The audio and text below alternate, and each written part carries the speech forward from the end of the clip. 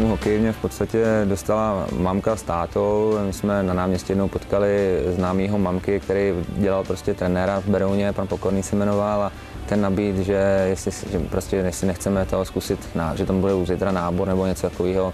Já si to přesně nepamatuju, vlastně, e, tak mamka řekla, že mě tam pošle, takže druhý den táta prostě mě tam vzal. Dostali jsme, já si nepamatuju, jestli jsme zase měli své bruse, nebo jestli tam ještě nějaký půjčovali, no a jsem tam se, se to prostě takhle nějak začalo, no, tam jsem byl poprvé na ledě, ale opravdu si nepamatuju, jak to to, ale říkám, zůstal jsem u toho, no, u toho hokeje, no, asi se mi to zalíbilo a hraju ho doteď, no.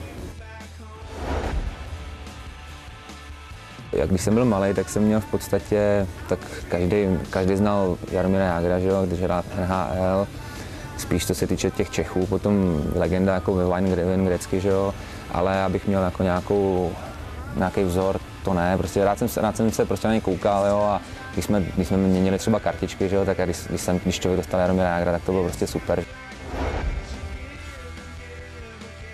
To bylo asi 2006-2007, když jsem měl první sezónu na Spartě, jsme udělali titul. Sice jsem tam, ještě pořád jsem byl jako mladý kluk, jsem paběrkoval v té čtvrtý léně, jsem tam třetí léna, ale určitě to bylo, bylo prostě krásný, no, jako extraligový titul a, a potom samozřejmě teď ten minulý rok, že jo, to bylo, to bych možná radil ještě, ještě na to, protože to bylo prostě super. No. To byla jízda, tady se nám to povedlo, celý to playoff bylo super a dostali jsme se do extraligy, to byl vlastně tady cíl a se super, super partou kluků a bylo to super, no, celá ta sezóna. Ne. Teď poslední, poslední roky jako ty gohly moc nedávám, já jsem spíš takový uh, stavený, teď jsem defenzivnější ten útočník, ale co si pamatuju, tak jako jeden z nejdůležitějších gólů, co jsem kdy dal, bylo na mistrovství světa v 18, na 18. Jsme hráli s Finskem, jsme prohrávali 1-0. Potřebovali jsme nutně bod, aby jsme se dostali dál do čtvrtfinále.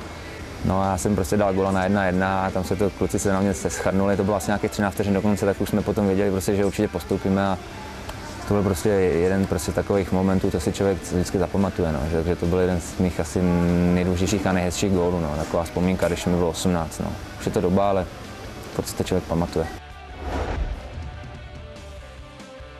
Určitě to byl minulý rok, no, prostě když jsme ten poslední zápas eh, v té Boleslavi, my jsme opravdu celý, celý rok se dělalo všechno pro to, aby jsme tu baráž vyhráli a potom, když ty emoce prostě spadly, tak jako jak ukápla tam trošku slza, no, ale nesnažil jsem se, aby to nebylo, nebylo vidět. Jako, já jsem, jako čo, když, když, prostě se člověk vyhraje nebo něco, tak to člověk, bylo to hezký, no, strašně, no, a možná ta slzička trošku ukápla, no.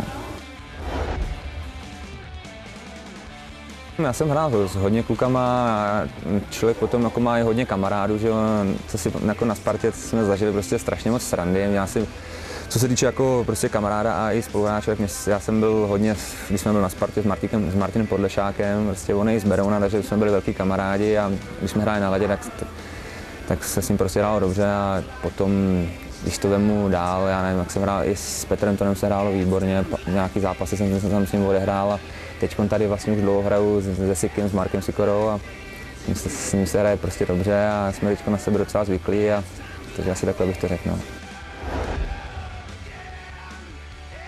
Já si vždycky rád přespím to ranní stávání, i když to není nějaký hrozný, jako že by člověk stával jen v 6 nebo to, ale když potom je v létě prostě dovolená, tak já si vždycky navyknu, že stávám v 11 jo, a takhle. A potom, když člověk musí stávat v 8, tak to není zrovna moc hezký. Má ta letní příprava, jak jsi říkala, to prostě to vadí asi každému, no, ale jak každý říká, musí to být prostě, no. To si, bez toho to nejde, no.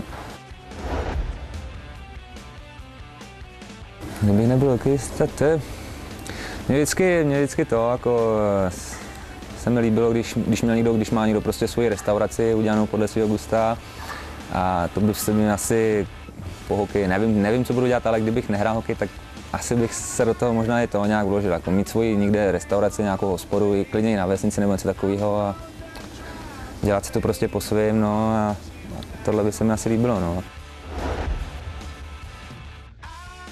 Já si nejvíc odpočinu eh, u nás na chatě, prostě my máme eh, kousek od Beruna na Berunce, máme krásnou chatičku, tak tam většinou, když chci zrelaxovat, tak jedu tam, protože tam je to paráda, krásná příroda. A potom, když je sezona, tak většinou se prostě váhalím no, v posteli, na internetu klasicky. Já jsem docela velký milovník filmů, protože já sleduju hodně filmy. Samozřejmě tam máme kotel, že jo, a když se tam, č- to vždycky rostou, roz, roztleská, a když tam, když člověk se podívá, jak oni fandí, jak řvou, mají ty svoje nějaký chorea nacvičený, potom když máme, když se vyhraje zápas, že jo, a zírák tam prostě ta naš, takže to je prostě super, no.